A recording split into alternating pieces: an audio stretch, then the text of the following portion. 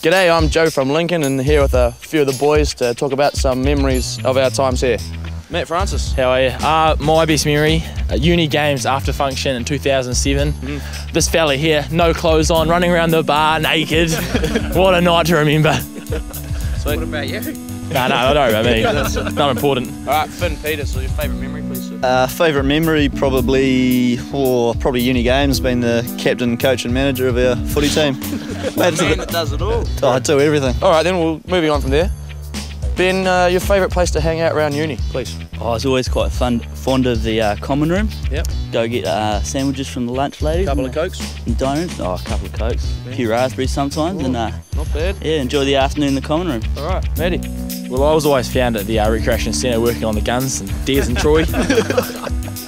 oh dear. How'd that, how'd that it's, like, it, it's, it's, worked out really well, buddy. it's worked out real good. All right, I personally enjoyed the library.